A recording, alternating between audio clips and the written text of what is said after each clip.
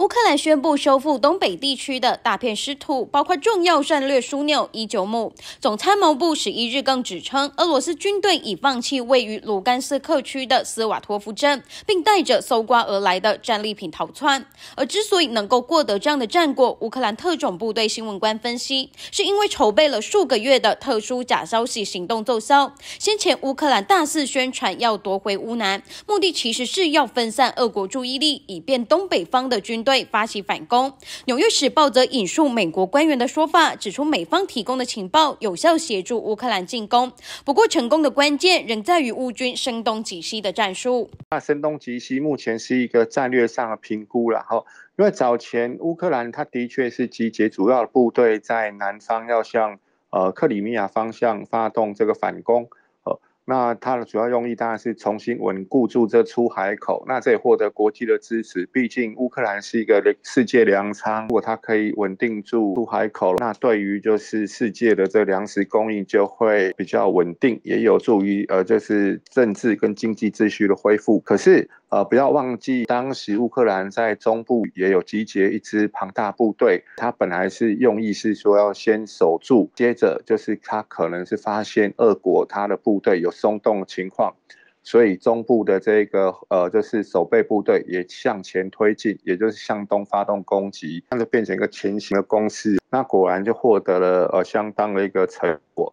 乌克兰军队以闪电般的速度，在短短几天内就夺回至少三千平方公里的失土。另一方面，日前传出俄军中将切西沃伊被俘，是俄罗斯自二战以来被俘的最高阶军官，似乎也暴露出俄军的重大危机。这都象征呃，俄国他在呃乌克兰战场呃恐怕是遭遇到非常严重的一个困难呃，包括补给线被截断，然后前线部队的士气不佳。连就是西部呃集团军的这最高指挥官，他在指挥所之内都无法确保呃自己的这个阵地。而遭到俘虏。美联社指出，乌军能在短短数日内收复俄军九攻后才夺下的战略城镇，彰显西方国家军援的武器发挥了极大效用。而海马斯火箭先行攻击俄军前线据点与补给线，更是这场反攻的关键之一。最重要的还是美军的武器吼，呃，除了海马斯它是一个战场的一个炮兵火箭之外，呃，我们看到有美军的这个支援的这个 F 拐拐拐的这个呃。榴弹炮，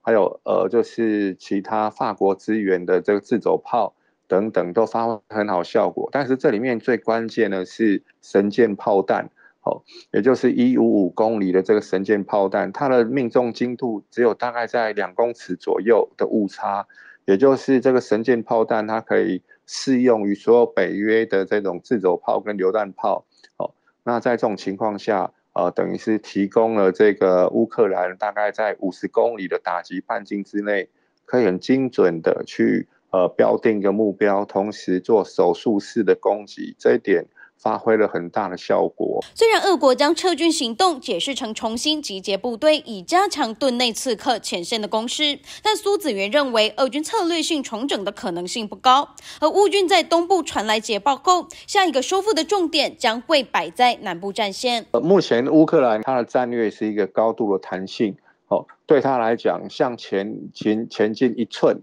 呃，一公分都是他光复师徒。所以，他现在就是在呃目前的兵力，还有就是西方持续支援的情况下，他在向前进，大概在一百公里的范围内，应该都还呃可以很充裕的获得补给。所以，他的呃就是这个秋季攻势，呃目前看起来还是以那个克里米亚为主哦，因为这也符合就是呃国际间对乌克兰战争的一个期待。毕竟那边是乌克兰对外的一个很重要的海上交通线，呃，那这也符合那个乌克兰自己本身的一个就是战略目标，所以我想在东部的顿顿涅茨克或卢甘斯克这里，应该很快就可以恢复到那个乌克兰手里。可是重中之重就是南部的这些疆土了，这是二零一四年就失去的克里米亚半岛。专家也分析，若俄军的士气持续低迷，且战术仍未见调整，那么泽伦斯基日前在克里米亚高峰会提出要将领土恢复到独立之初的目标，就有可能提早达成。记者黄信亚采访报道。